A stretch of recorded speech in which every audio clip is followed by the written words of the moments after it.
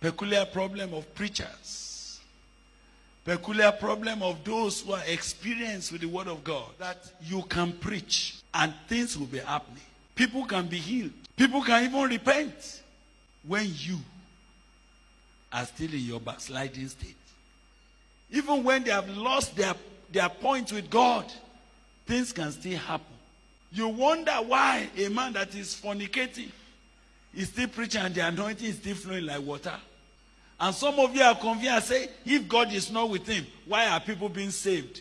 Don't talk like that. There was a great revival in Nineveh, but the vessel that was used was not part of it. Do you know it is possible for you to be used to help others? And that does not mean you are being helped at all. Do you know? These are the issues I don't want to ignore about my life. I don't want to congratulate myself that yes, people are being saved as I preach here, as I preach there. That doesn't have anything to do with who I am. The name of Jesus is credit worthy anytime. If we honor his name, even if a dog mentions it. So what must I do not to miss my own place? I must keep an eye on my personal relationship with I God. I must not measure my life with the things that happen in the congregation of God's people.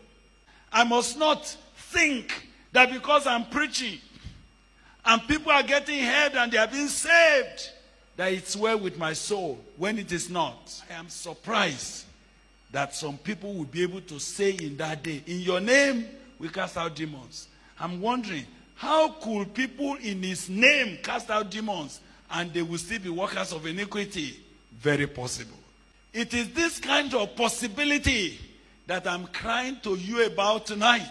Are there some of you say, well, even though I am still watching pornographic films, but anytime I preach in my fellowship, things happen. I Hallelujah. know that a man of God can be dying, but when they come on the pulpit, fire. So that's why I do not rate any man of God by the pulpit. Because the pulpit is a place where God can just walk anytime he wants to walk. There's nothing to do with how correct you are. So I must tell even those of you that are preachers, fellowship presidents, never you be arrogant. Can you let us insist that your personal walk with God comes before any activity of ministry? And I suggest to you that the only way you can last, that in the next 10 years, 20 years, 30 years, if God tarries, you will still be relevant, is if you check what goes on in your inner man.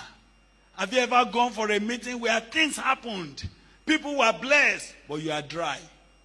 You sang, people are just jubilating, but inside of you, there's a question mark. Have you ever seen preachers who preach so powerfully, but they went home and themselves and their wives, they are fighting? And only wives of such preachers can tell you the truth. Not many of those pastors' wives are happy. They can't cry publicly because they must not spoil ministry. They cannot go to anybody for counseling because how can pastor's wife need counseling? You see, Jonah preached. Nineveh repented. But Jonah was dry. Secret things that makes great men's life to end in jeopardy.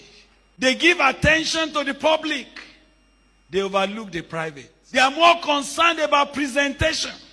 But they do not pay attention to preservation of their inner man. They take time to dress up.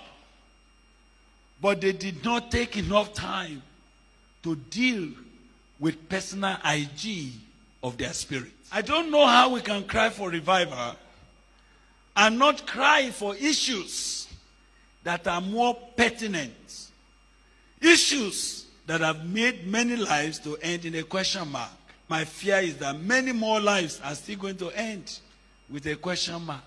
Many more that you thought are great may be found last when the roll is called up yonder. He that thinketh he standeth let him take it, lest he falls. The mighty are falling before. Termites of sin have finished them. I don't want to preach about revival and not be in revival. I don't want to challenge others to revival and I will be out of it. I don't want to call many to the kingdom of God, and I myself will be ordered to stand aside. I will end well.